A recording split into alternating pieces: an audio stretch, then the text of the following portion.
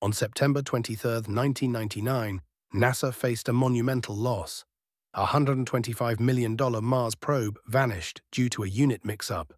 Mars Climate Orbiter was supposed to break into orbit, but instead, silence filled the control room. The spacecraft likely dipped to about 57 kilometers, tearing apart in the thin Martian atmosphere. What caused this catastrophic failure?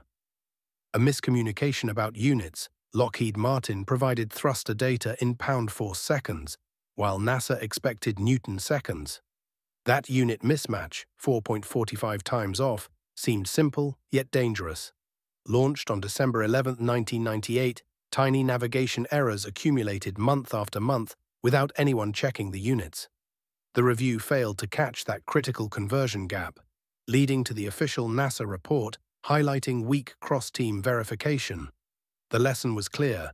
In the realm of space exploration, units are a matter of life and death.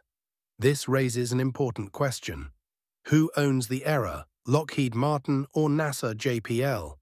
Should the US embrace the metric system fully, and what could have been done differently to prevent this failure?